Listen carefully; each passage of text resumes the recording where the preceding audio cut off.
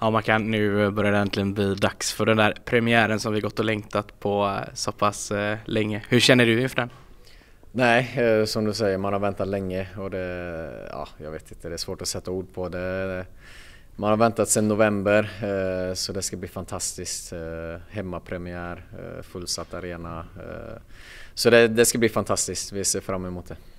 Du som ändå varit med ett tag, premiärnerver och sådär, är det någonting som du fortfarande har? Absolut, det, man känner nu sista veckan här att det börjar bubbla lite och det är så det ska vara. Det, det betyder mycket att få, att få spela fotboll och få spela fotboll för IFK Göteborg och en allsvensk premiär. Det är 30 omgångar det handlar om men det, det, är klart att vi vill gå ut på söndag och visa, visa allihopa vart vi står och ta tre, tre poäng. Truppen då, hur eh, laddad är den?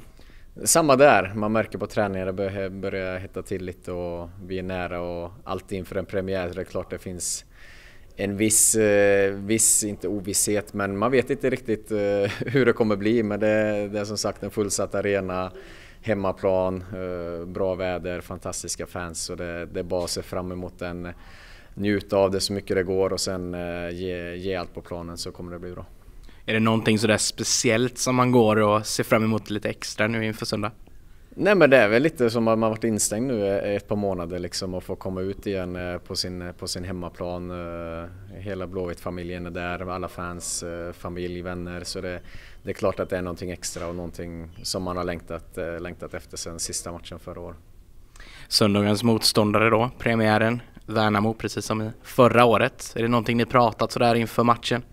Ja men det är klart, Värnamo är ett spelskickligt lag och det är klart att vi, vi kan se se grejer som passar oss där också. Sen, sen är det mycket saker som vi har jobbat på som vi hoppas kommer synas i matchen.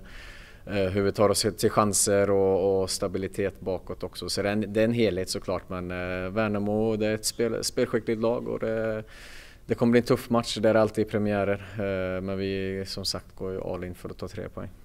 Slutligen då, är det något du skulle vilja skicka med supporterna?